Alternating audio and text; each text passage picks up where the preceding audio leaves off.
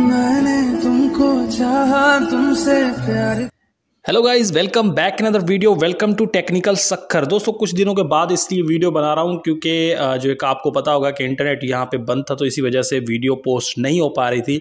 तो आज की वीडियो में मैं आपको सिखाने वाला हूँ इस तरह की व्हाट्सअप स्टेटस वीडियो जो कि आपको स्क्रीन पर दिखा रहा हूँ। इस तरह की व्हाट्सअप स्टेटस वीडियो हम लव स्टाइल में बनाने वाले हैं।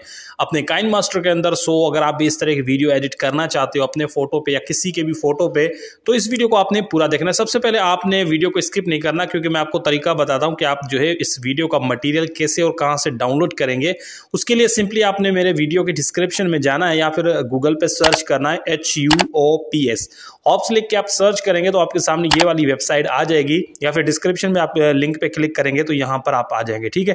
उसके बाद आपने क्या करना है सिंपली इस वेरी वेबसाइट पे क्लिक करना है। जैसे आप यहाँ पे क्लिक करेंगे तो थोड़ा सा आपने इसे छोड़ देना है क्योंकि ये पूरी तरह से लोड हो जाए, ठीक है? उसके बाद आपने स्क्रोल करके बिल्कुल एंड में आ जाना है।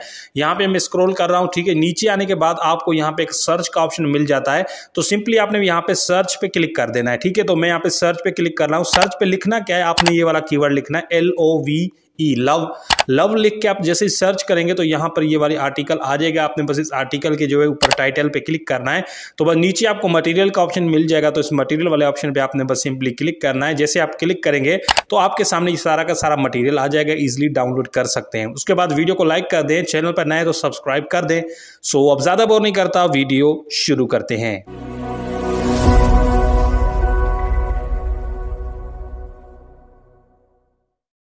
गाइस सबसे पहले आपने काइन मास्टर को यहाँ से ओपन कर लेना है तो मैं काइन मास्टर को यहाँ से ओपन कर लेता हूँ। ओपन करने के बाद सिंपली आपने यहाँ पे क्रिएट न्यू पे क्लिक कर देना है। उसके बाद आपने सिंपली यहाँ पे रेशो सेलेक्ट करना है 16 बाय नाइन वाला। उसके बाद नीचे आपको क्रिएट का ऑप्शन मिल जाएगा तो सिंपली आपने क्रिएट पर क्लिक कर देना है। क्लिक करने के बाद आपकी गैलरी ओपन हो जाएगी तो आपने सिंपली यहाँ से गैलरी में जाना और एक बैकग्राउंड वीडियो को ऐड करना है। आ, इस बैकग्राउंड वीडियो को डाउनलोड कैसे करना है वो मैं आपको पहले बता चुका हूँ तो आप उसी तरीके से इस वीडियो को डाउनलोड कर सकते हैं ठीक है? अदरवाइज़ आप वीडियो पूरी नहीं देखते उसके बाद आप बताते हैं कि भाई हमसे जो है मटीरियल डाउनलोड नहीं हो रहा। तो आपने वीडियो को पूरा देखना है ठीक है? उसके बाद आपने यहाँ से सबसे पहले ये वाली आपने वीडियो को ऐड करना है ठीक है? यहाँ से हम ये बैकग्राउंड वाली वीडियो को ऐड कर लेते हैं यहाँ पर ठीक है? इसे आपने ऐड करना है ऐड करने के बाद सिंपली आपने इसे यहाँ पे चेक लगा देना, ठीक है? उसके बाद आपने फ़र्स्ट में आ जाना है देन लेयर पे क्लिक करना है, उसके बाद आपको मीडिया का ऑप्शन मिल जाएगा मीडिया पे क्लिक कर दें। उसके बाद अपने मॉडल का या किसी का भी फ़ोटो जो आप लगाना चाहे, उस फ़ोटो को ऐड करना है, लेकिन उस फ़ोटो का जो बैकग्राउंड है, वो आपने पहले रिमूव कर लेना है। सो अगर आपको फ़ोटो का बैकग्राउंड रिमूव नहीं करना आता तो उसमें मैं एक वीडियो बना चुका हूँ।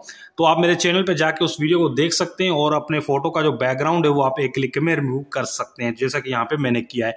सो मैंने यहाँ पे फ़ोटो को ऐड किया। ऐड करने के बाद सिंपली इसकी जो साइज़ है, इसे कुछ इस तरीके से मैं बढ़ा लेता हूँ, ठीक है, ये देखिए यहाँ पे मैंने साइज़ को बढ़ा दिया और उसके बाद यहाँ पर इसे ऐड करता हूँ इस फ़ोटो को। उसके बाद इस फ़ोटो की जो टाइमलाइन होगी, इसे आपने खींच के उतना ही कर देना है जितना आप स्टेटस वीडियो बनाना चाहते हैं। तो मैं इसे यहाँ पर जो है, तकरीबन जो है, वो ट्वेंटी सेकंड तक कर लेता हूँ, आप अपने अकॉर्डिंग कर सकते हैं, ठीक है। यहाँ पर हम जो है एंड तक कर लेते हैं, ठीक है, ये देखिए यहाँ पर। उसके बाद आपने इसी फ़ोटो पे क्लिक करना है, उसके बाद थ्री डॉट पे क्लिक करके इसको एक डुप्लीकेट बनाना है। डुप्लीकेट को बनाने के बाद सिंपली आपने इसे यहाँ पर लेकर आना है। उसके बाद सिंपली नीचे आना है, यहाँ पर आपको क्रॉपिंग वाले ऑप्शन पे क्लिक कर देना है। उसके बाद यहाँ से इसे नीचे से क्रॉप कर देना है, कुछ इस तरीके से। उसके बाद इस मास्क को आपने इनेबल करके देन फीदर को यहाँ से आपने बढ़ा देना है, ठीक है? उसके बाद बैक करना है। बैक करने के बाद इसकी जो साइज़ है, कुछ इस तरीके से आपने इसे साइज़ को बढ़ा देना है। उसके बाद यहाँ से आपने क्या करना है थ्री डॉट पे अगेन क्लिक करके सेंड टू बैक वाले ऑप्शन पे आपने बस क्लिक कर देना है। उसके बाद नीचे आ जाना यहाँ पे अल्फ़ा ऑपिसिटी का ऑप्शन मिल जाएगा, इस पर क्लिक कर दें। उसके बाद इसकी जो ऑपिसिटी है, इसे आपने यहाँ से कम कर देना है, ठीक है, यहाँ पर। तो उसके बाद यहाँ से हम इस फ़ोटो को बैकग्राउंड के अंदर यहाँ पे ऐड कर लेते हैं, ठीक है? उसके बाद आपने आ जाना है फ़र्स्ट में देन लेयर पे क्लिक करना है, उसके बाद मीडिया पे क्लिक करना है।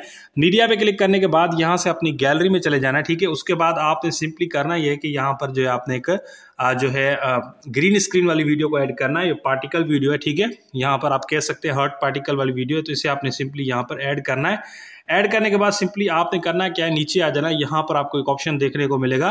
क्रोमा की का इस पर आपने क्लिक करके इसे आपने सिंपली यहाँ से इनेबल करना है। उसके बाद आपने इसे यहाँ पर कुछ इस तरीके से एडजस्ट करना है। ठीक है? ये देखिए, यहाँ पे मैं जैसे कर रहा हूँ तो उसके बाद यहाँ पर आपने इसे एडजस्ट करना है। एडजस्ट करने के बाद सिंपली आपने यहाँ से करना क्या है भाई? इसकी साइज़ को आपने कुछ इस तरीके से बढ़ा देना है। ये देखें यहाँ पे मैंने इसकी साइज़ को बढ़ा दिया। उसके बाद आपने सिंपली यहाँ पर आपने इस वीडियो को ऐड करना है इस जगह पर। ठीक है? तो ये देख सकते हैं यहाँ पे हमने वीडियो को ऐड किया उसके बाद हम आ जाते हैं फ़र्स्ट में। उसके बाद आपने लेयर पे क्लिक करना है मीडिया पे क्लिक करना है और यहाँ से आपने क्या करना है भाई एक लैरिकल वीडियो को ऐड करना है। आ, ब्लैक स्क्रीन लैरिकल वीडियो यहाँ से हम ऐड कर लेते हैं तो आप अपनी मर्ज़ी की कोई भी एक लैरिकल वीडियो ऐड कर सकते हैं। अदरवाइज़ अगर आप ये वाली वीडियो ऐड करेंगे तो मैंने बताया कि आप इस वीडियो को कैसे और कहाँ से डाउनलोड कर सकते हैं ठीक है? तो यहाँ से हम इस वीडियो को भाई ऐड कर लेते हैं ये वाली वीडियो है। ऐड करने के बाद सिंपली आपने यहाँ से थोड़ा सा आपने आगे आना है, जहाँ पे हमारे लिरिक्स यानी शुरू हो रहे हैं, देखिए यहाँ पर। उसके बाद आपने यहाँ से इसकी जो साइज़ है, कुछ इस तरीके से आपने इसकी साइज़ को बढ़ाना है, इस तरीके से, ठीक है? यहाँ पर आपने इसकी साइज़ को बढ़ाने के बाद सिंपली इस जगह पर ऐड करना है, उसके बाद थ्री डॉट पे क्लिक करके यहाँ से सेंड टू बैक पे क्लिक कर देना है, ठीक है? उसके बाद सिंपली यहाँ से आपने क्या करना है, नीचे आ जाना है, इस यहाँ पर आपने ब्रांडिंग वाले ऑप्शन पे क्लिक करके यहाँ से स्क्रीन पे क्लिक कर देना है। तो यहाँ पर इसका जो ब्लैक पार्ट है वो यहाँ से खत्म हो जाएगा। उसके उसके बाद आपने यहाँ से लेयर पे क्लिक करना है मीडिया पे क्लिक करना है और यहाँ से आपने इफ़ेक्ट वाली वीडियो को ऐड करना है। तो मैं इस इफ़ेक्ट वाली वीडियो को भी सिंपली यहाँ पर ऐड कर लेता हूँ। तो आपने भी इस इफ़ेक्ट वाली वीडियो को सिंपली यहाँ से ऐड करना ठीक है? तो यहाँ से ये वाली वीडियो हम इसे ऐड कर लेते हैं।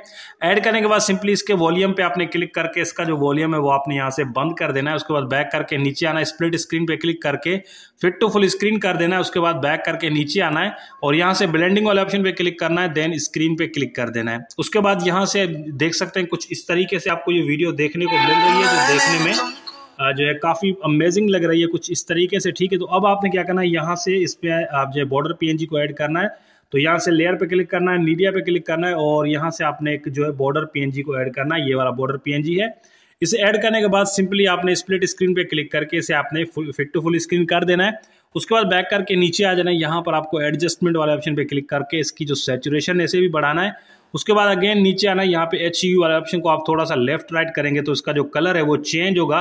तो इसका जो कलर है वो मैं थोड़ा सा पिंक और रेड टाइप में यहाँ पे कर देता हूँ, ये देखें, ठीक है? उसके बाद आपने यहाँ से इसकी जो टाइम लाइन है, इसे भी आपने बढ़ाकर एंड तक कर लेना है, जितना स्टेटस वीडियो हमने बनाया तो उतना ही हम इसकी टाइम लाइन को भी बढ़ा लेते हैं, ठीक है?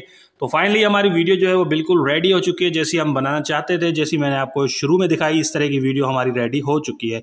तो अब आपने क्या करना है सिंपली इस वीडियो को सेव कर लेना है सेव करने के लिए सिंपली आपने एरो पे क्लिक करना है, उसके बाद यहाँ से सेव इस वीडियो पे क्लिक करना है तो आपकी जो वीडियो है वो गैलरी के अंदर सेव हो जाएगी।